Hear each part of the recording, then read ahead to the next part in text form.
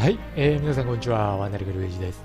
えー、では今回は、デトの決断法バブキット、続きをやっていきましょう。前回ですね、アメリカの西海岸を抑えたというところで、えっと、今回からは、劣勢になっているドイツ軍、まあ、同盟国ですね、まあ、実際戦時中、さっきの対戦の戦時中、ドイツ軍が日本をどう思っていたかというのは諸説いろいろあるようなんですが、ゲーム上では同盟国になっているそのドイツが少々ピンチというところがあるので、今回はですね、そのドイツ軍の支援のために、インド洋、こちらに向かいます。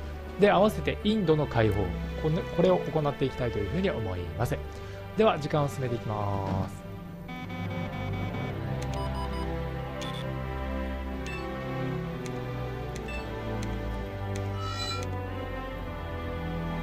90これが開発可能になってますという話ですねで新しく防空間防空艦が何隻かできているので潜水艦も何隻かできてます。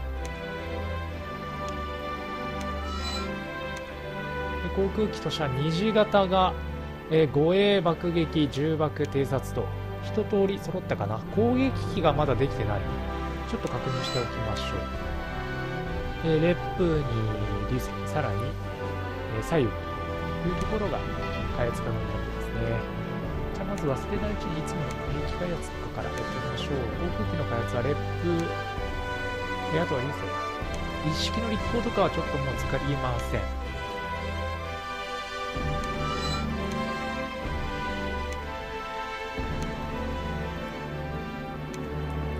技術開発はお金がちょっと今回あまりないので薄めにしておきますで、物資の援助は鉄にさせてください。アルミはこの後使えますんでっていう、まあ、内部事情もありというところかな。で、航空機の方なんですが、えー、っと、二次戦闘機、これが1週間後。で、虹の攻撃機は？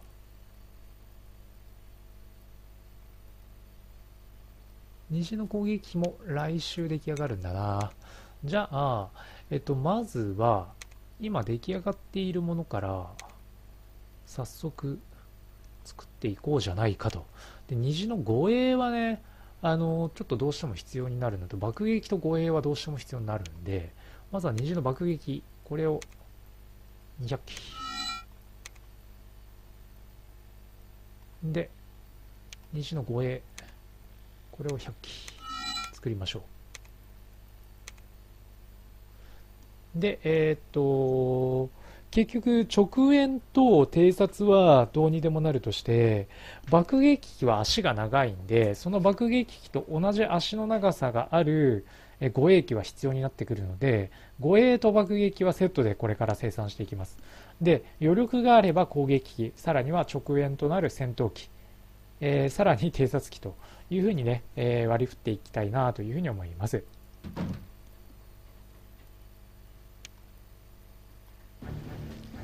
いや、頑張ったけど落とせなかったか。ちょっとね、ドイツ軍もダメージ出てるからね。巡洋戦艦撃沈されてるし、正規空母も撃沈されてるね。まあ、もちろん敵のイギリス軍艦隊もダメージを与えてるけど、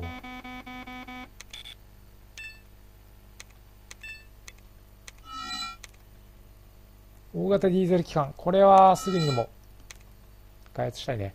で虹の戦闘と虹の攻撃、これがそれぞれ生産可能になりましたというところになりますね。じゃあまずアメリカの西海岸、ここで、えーと、休養していた艦隊を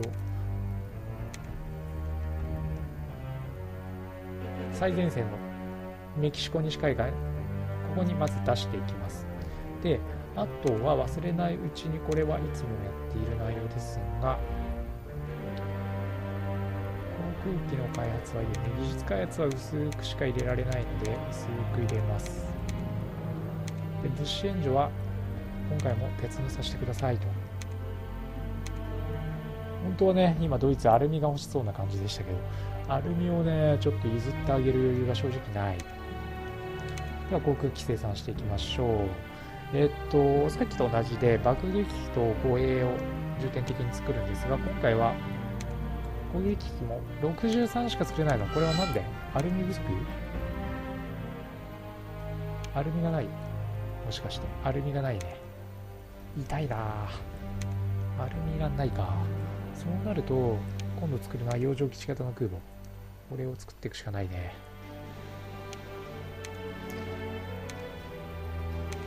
金はまだ余裕がめちゃくちゃあるというわけではないですけど。洋上基地型空母6000も使うんだな。鉄を一隻沈められるとかなり痛いですねそうなるさあこれでよくてマラカ海峡の艦隊もう一度再編していきましょう。だいぶ艦隊揃ってきました。えっと第7艦隊だいぶ増強されたね。じゃあ第4艦隊から整理していく。第4艦隊には成で第8艦隊の艦艇をドスッと入れちゃいましょうこれでどうなったかというと第15艦隊はもうこのままですねで、えー、第7艦隊がだいぶ増強されました。第4艦隊も増強済み。となると、第4艦隊に第3艦隊を混ぜ込んじゃう？それとも次回のターン、どこまで艦艇が来てる？まだまだ来てないよね。ると、主戦力になるのが、第4艦隊と第6艦隊を混ぜ込んじゃいましょうか。おいっと。いるかな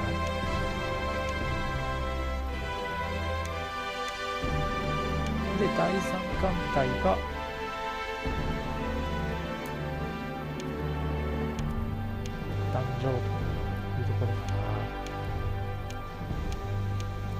第6艦隊と第7艦隊を混ぜ込んじゃえばいいかな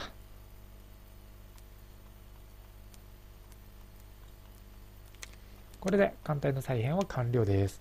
そしたら空母に、えー、人を乗せていきます。もうね、全部乗せ替えですね。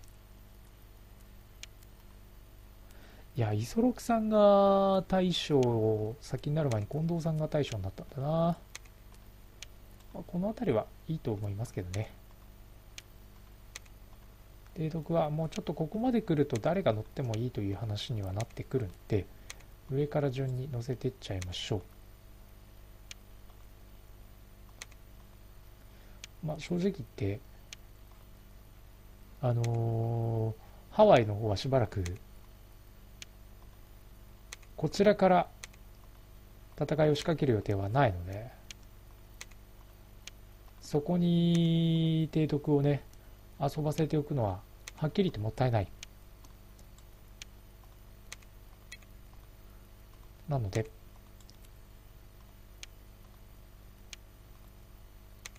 こっちに乗せ替えます。あとは、行っても、行ってもっていう言い方もちょっと微妙ですけど、あの、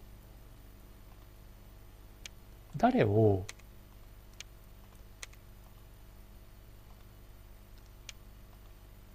その間にするかっていうのもちょっと重要かなと思っててまずこの第4艦隊の艦長は大和で誰かしっかりした人を乗せたいとなると中将以上だと高須さん？高須さんぐらいかな？砲撃レベルの高い近藤さん。近藤さんだな。近藤さんにして代わりに近藤さんのところに提督誰か乗せてあげましょう。空母に乗ってない人がいいよね。住所。できればね、航空レベルがそれなりの人がいいんだけど、B って誰もいないよね。となると田中さんだな。またここで先行上げてくれという話かな。で、あとは潜水艦に誰も乗っていなければ、乗っていない艦長がいれば、乗せてあげましょうというレベルかな。まあ、結局、この潜水艦に関しては、言い方悪いですけど、捨て駒なんで、特に初戦はね。で、えー、新編成で、新しく潜水艦部隊を創設していきましょうと。いうところですね。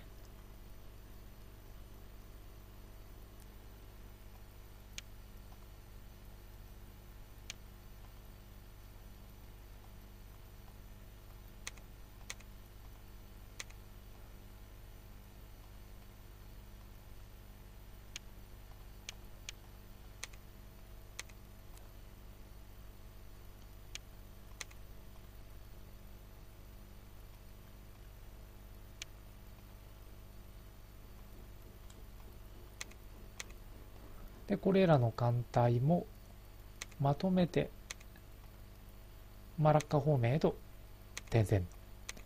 で洋上基地型の空母が完成するのはだいぶ先になりそうなので洋上基地型の空母たちは、まあ、イギリスの本土近くでのね本当にヨーロッパ戦線での戦いに投入という形になりそうですね。第5艦隊もどうするこれこのままさ乗せておくのってちょっとバカバカしいよな第5艦隊第5艦隊もちょっとこの際マラッカ方面に転戦しましょうでえっ、ー、と第5艦隊の木梨古村この辺りは次の戦いに備えてこっちに乗ってもらいます。まあ、本当ここすごいよね。1週間でさ、あのー、アメリカの西海岸から移動してくるからね。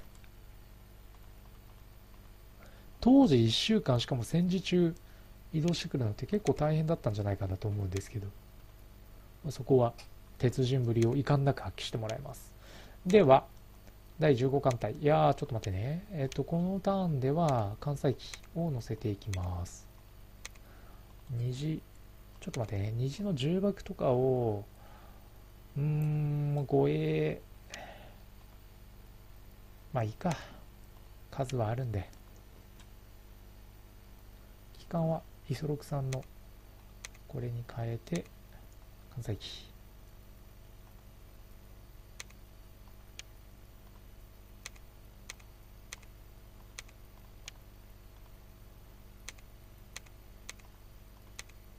これでいいね。で、第4艦隊の早期艦はやっぱりヤマトなんですよ。で、えー、関西機。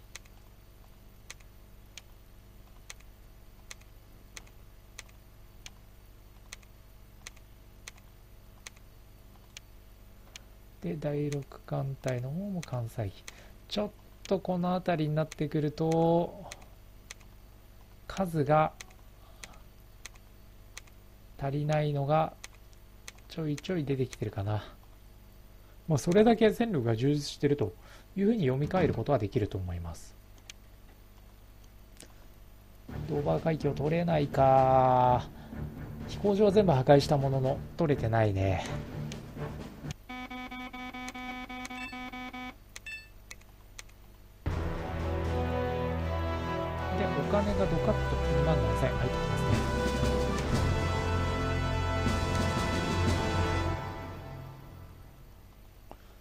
目標はインド洋ですね。もう作戦を完全に対イギリスに舵を切ります。で、今回お金がドカッと入ってくれたんで、厚めに入れて、こういうとこでお金の無駄遣いしてると、またあっという間に金が底を尽きるんですけど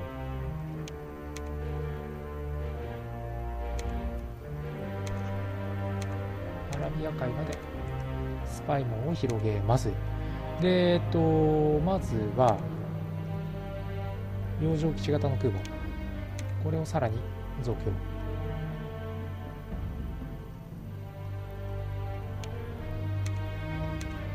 ただ、その洋上基地型の空母を運用する上で必須になってくる航空戦力がね、ちょっと追いついてこないなっていうところなんですよね。え、ー、と、そうすると虹の戦闘機、これを、まあ30機。で虹の護衛。これいっぱいあるね。虹爆は虹爆。虹爆が全然ないけど、虹は重爆の方を重心、中心に作りましょう。で、虹の偵察。これ81件か。となると虹の攻撃機がないんだろうな。あ、虹の攻撃機も、それなりに余剰はあるね。いや、見配備数がこんだけあるよっていうだけ？となると、虹の重爆。見配備数が、こんだけか。まあ、ちょっとしょうがないかな。で、使い切ったアルミの代わりに、完成。えっ、ー、と、こんだけ本当に、えっ、ー、と、空母作ってるんですけど、護衛艦がやっぱり足りてないんで、護衛艦ですね。で、護衛艦もね、ちょっとどっかでもう一度防空艦の発展型を開発していかなきゃいけないかなと思うんですが、当面の間は、開発済みのこの防空艦、これをベースに大量生産をしていって、まあそもそもさっきの対戦中ね、日本軍こういう大生産能力がなかったっていうのがね、痛いですよね。飛行機の数とかもね、結局優秀なものは作れても、数でアメリカ軍に圧倒されましたからね。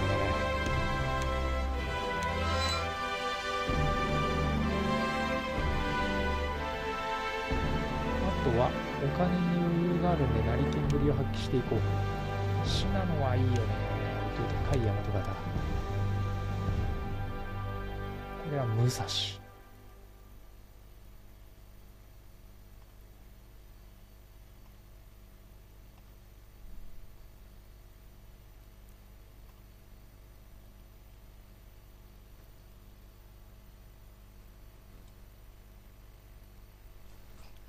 自分で入れた方が早いかな。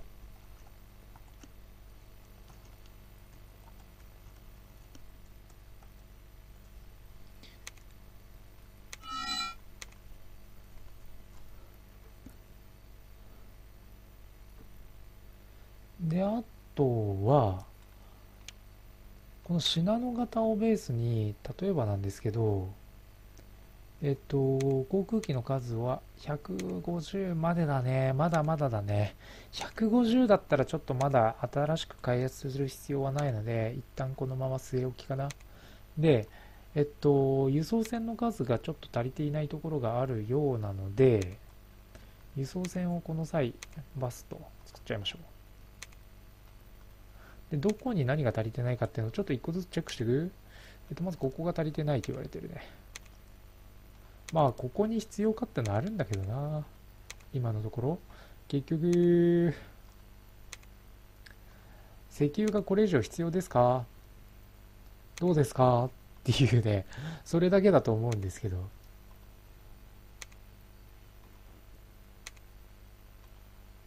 あ、オーストラリアでなんか沈められてたね。ないし。しょうがないね。ここでアルミが取れるんだったら輸送船配備してあげたいけど輸送船の余裕がないんで諦めましょう。では艦隊動かします。今回導入するのはまず第15艦隊。これで、えー、インド洋の威力偵察。であとは戦艦は一旦置いとく。第3艦隊。イソロクさんが機関になっているこの第3艦隊と第6艦隊を派遣しますか。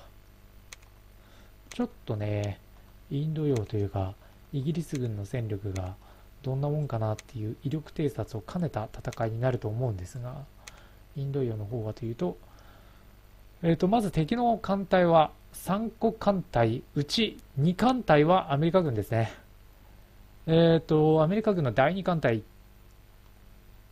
これは空母が入っているな正規空母が1、護衛空母が3、第11艦隊は、えっ、ー、と、これ潜水艦隊ですね。潜水艦隊は寄せ付けたくないんですけど、えっと、味方の戦力で言うと、今回投入するのは、第3艦隊は駆逐艦入ってるね。第6艦隊も駆逐艦満載。大丈夫かな。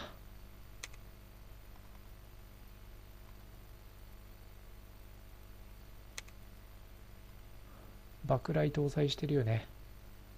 搭載してる。大丈夫。これだったら敵の潜水艦ガリガリ沈められる。では、インド洋に向けて出撃です。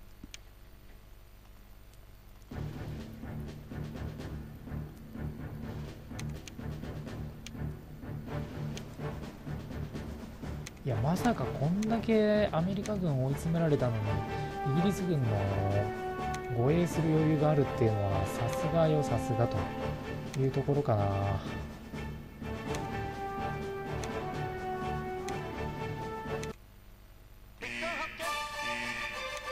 早いな敵艦の発見が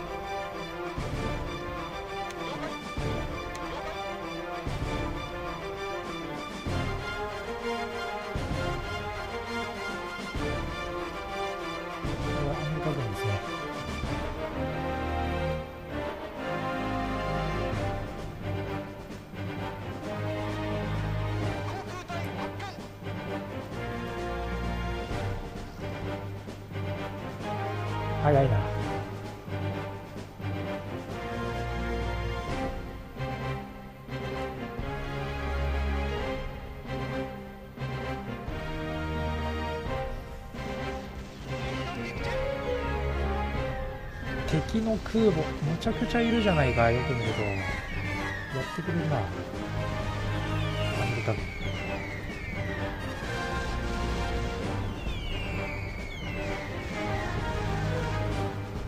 さらにイギリスの戦艦部隊も突入してきてるな。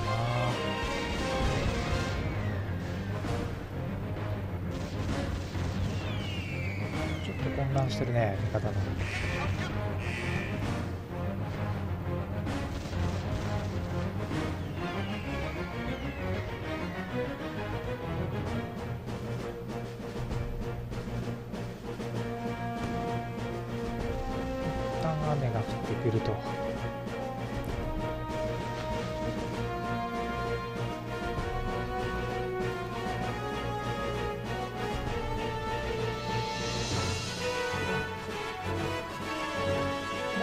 こまでノーダメージ。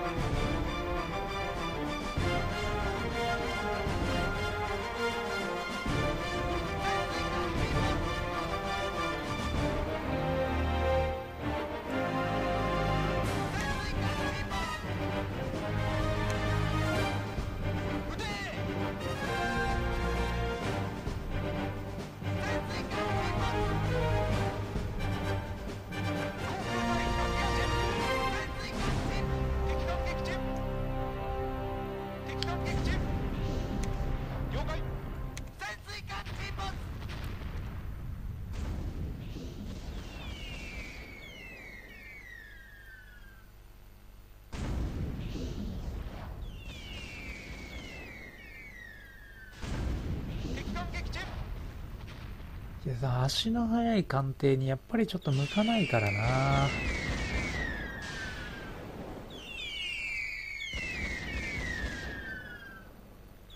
味方のね爆撃機は。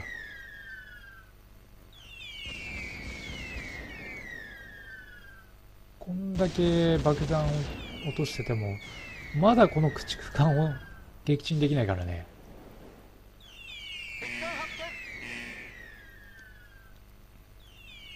敵艦撃沈了解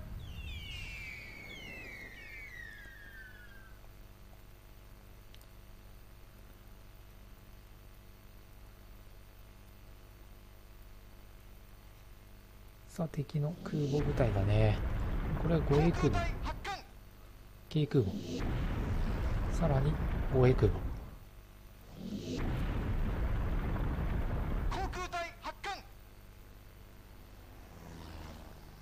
味方の潜水艦部隊にいい感じで敵の空母部隊が突入してきてくれたのは大きいな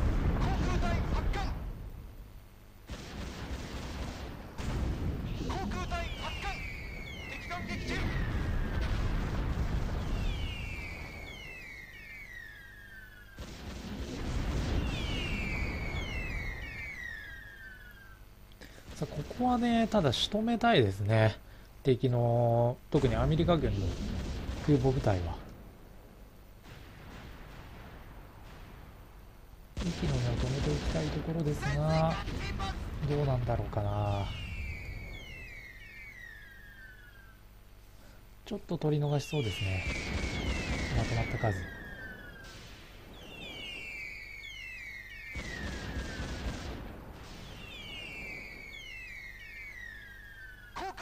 いや足の速い部隊相手だとここまで当たらないか。もうあと人一撃二撃でうー仕留められるかなというところだったんですけど残念ですね。この辺りはもう打ち尽くしでしょ？あ打ち尽くしてないじゃん。打つ打とう。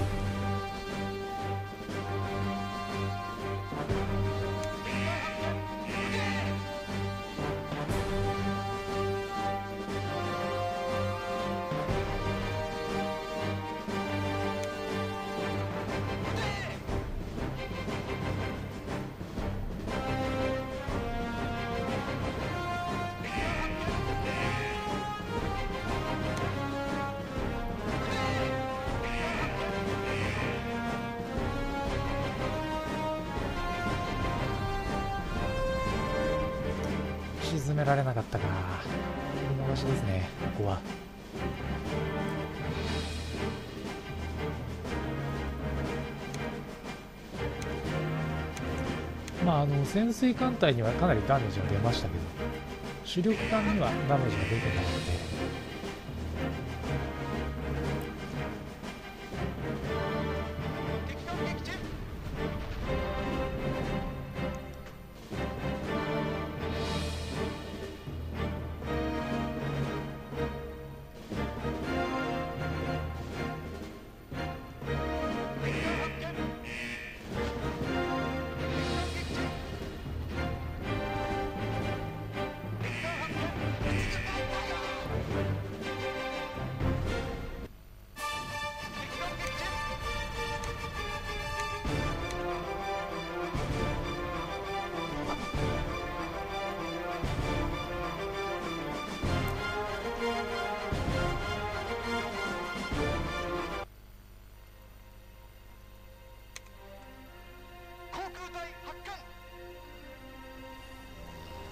さあ護衛爆撃が飛びましたね。まあ足は相当に長くなってるんで特に虹の重爆を積んでるところは。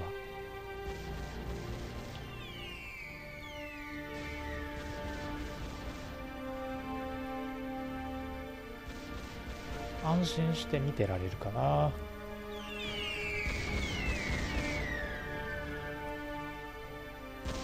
インド洋はドックがあったかどうかだなあとは。ドックがあればシンガポールから拠点をインド洋に移しちゃってもいいかもしれないですね。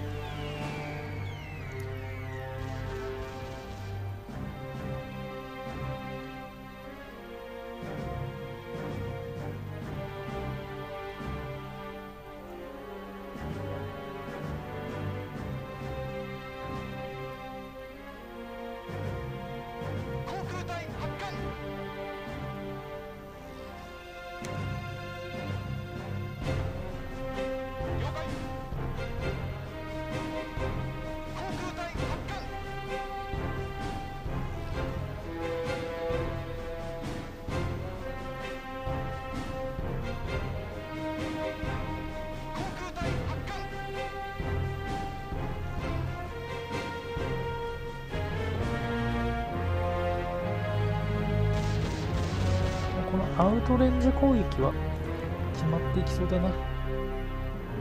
ちょっと足が届かなかったかな。それでも。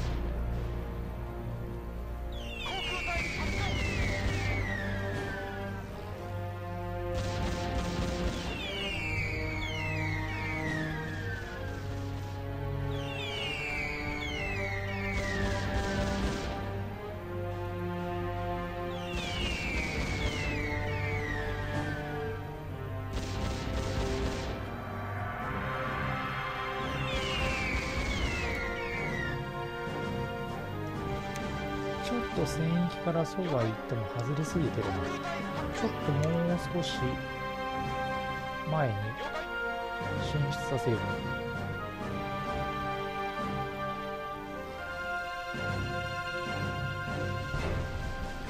当然往復の距離が長くなればなるほど時間はかかっちゃいますからね。短ければ短いほど攻撃の間隔を短くできるんで。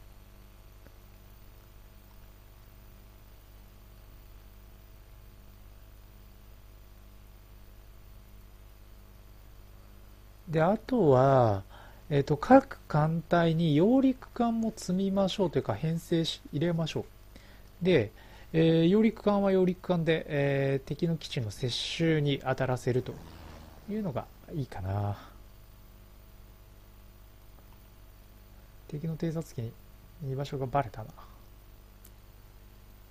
ピンポイントでこちらの居場所がバレましたね。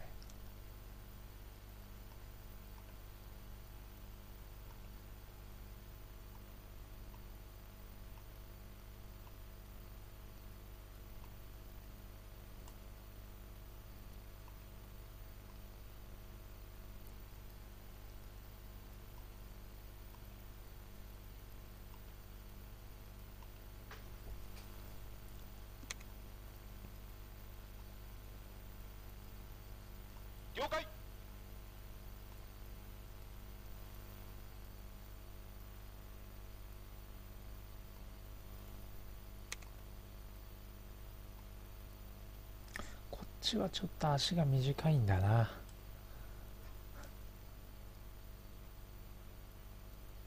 航空隊発艦。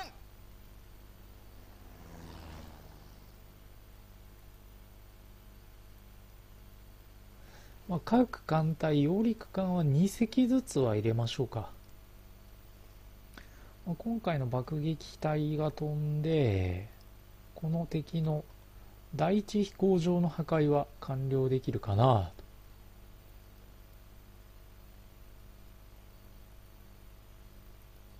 残り2つの飛行場を、えー、3日目1日かけてまあなんとか敵飛行場破壊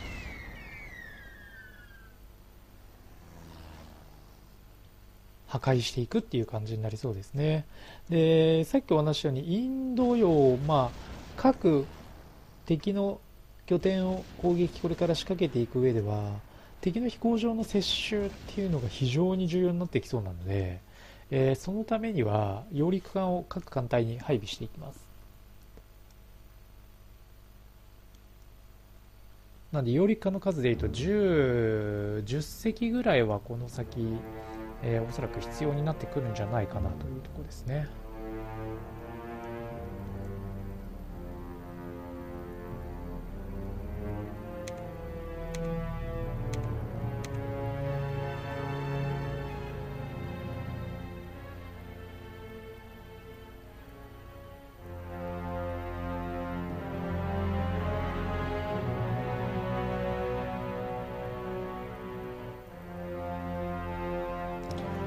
水上部隊を完全に排除したと思われるのであとは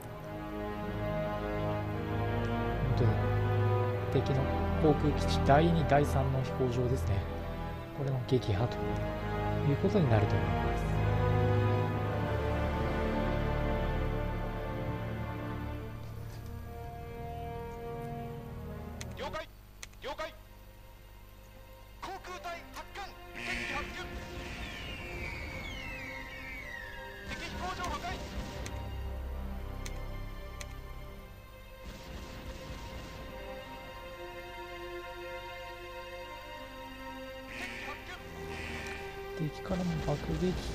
できてるけどここでやられないでくれるのが第一条件だよ本当に。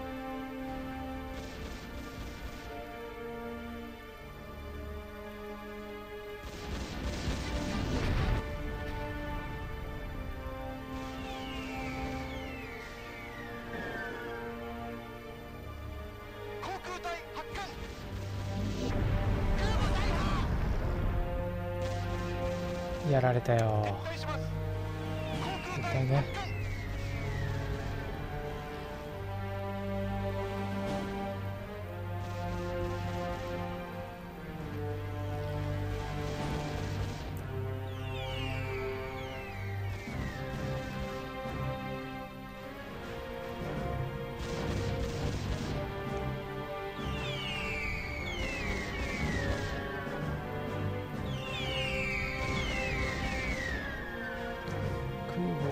せきたりとも失いたくないからな。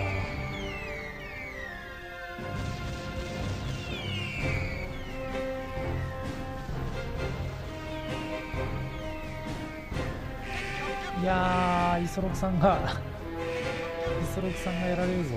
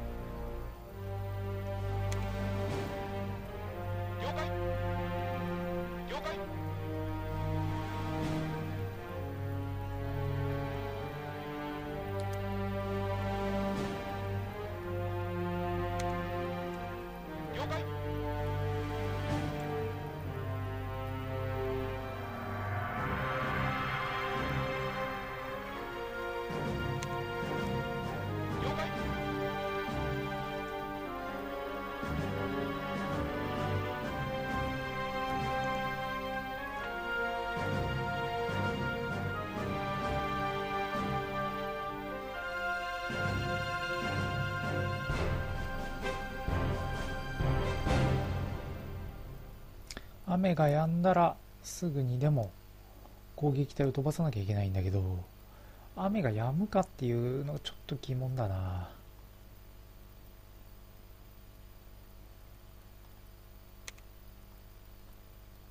了解。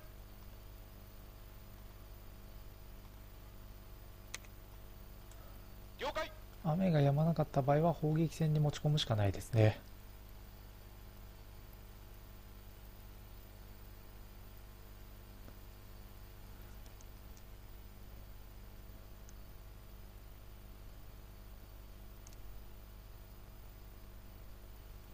了解了解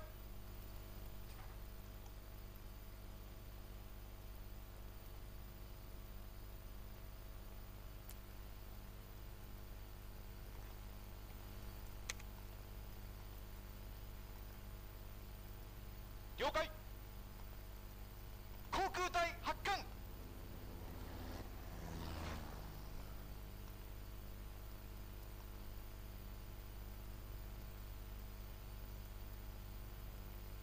この爆撃で第2波が飛ばせるかどうかっていうと時間的にはちょっと微妙ですね。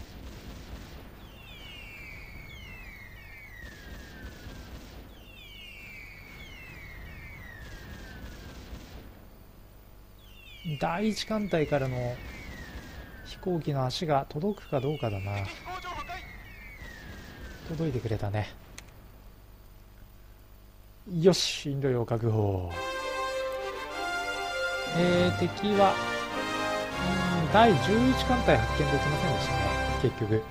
えーと空母は全部取り逃し。これがこの後どう出るかわからないな。できればね敵の空母部隊特にアメリカ軍の空母部隊は完全に破壊しておきたかったんですが、まあ、ちょっと残念です。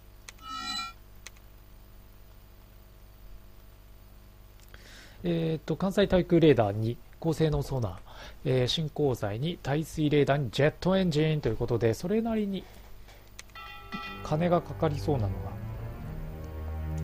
いっぱいあるな。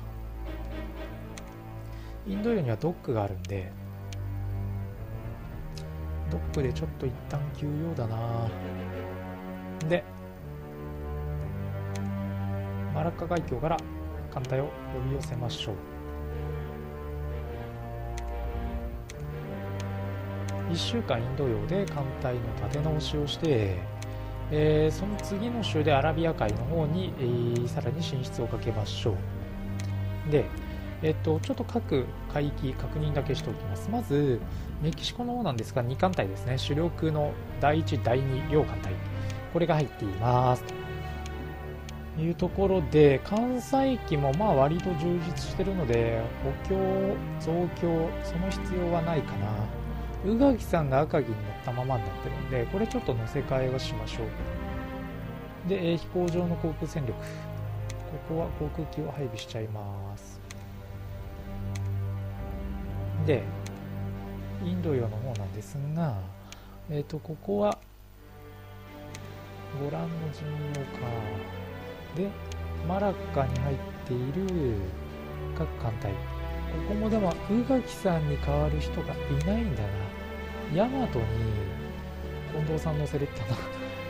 いや近藤さん近藤さんが潜水艦に乗ってるな。ちょこれはまずいよ。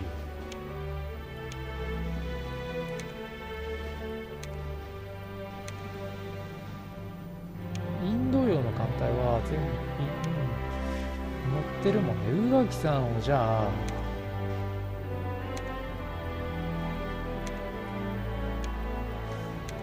宇垣さんの階級だと戦艦乗れないんだよねでも乗れないよね。かといってこの中だとまあ高須さんにじゃあ乗り換えてもらって宇垣さんに新竜に乗ってもらう。それがいいかな。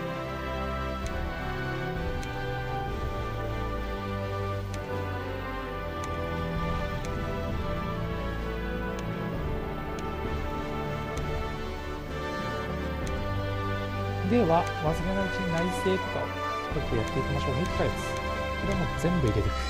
金がどんどんなくなっちゃいます。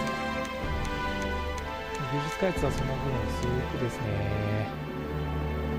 で、物資援助は鉄を進呈しよう。本当はアルミを進呈したいんだけどね。アルミを進呈する余裕が残念ながらない。えーと、マダガスカルは欲しいな。マダガスカル、あとは公開この辺りにスパイを送り込みましょう。で生産のラインの方はというと航空機です。虹爆。いや虹の重爆だね。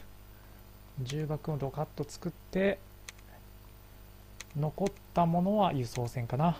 6隻作りましょう。で輸送船はオーストラリア方面で確か足りてなかったと思うので、えー、ここに補充。あと足りてないところある？あラワーウルが全然ないね。こんなところですかね。はい。では、えっと、インド洋解放しましたので、次はさらに敵のイギリス軍の奥地に侵入していきましょう。というわけで、今回はここまでにさせていただきたいと思います。はい。というわけで、えー、最後までご視聴ありがとうございました。ぜひ、チャンネルの登録、あとはですね、ツイッターの方で動画の収録状況と、あとは配信状況、まあ、その他もろもろ情報を発信しておりますので、え興味のある方はぜひツイッターの方もフォローしていただければあ嬉しいなというふうに思います。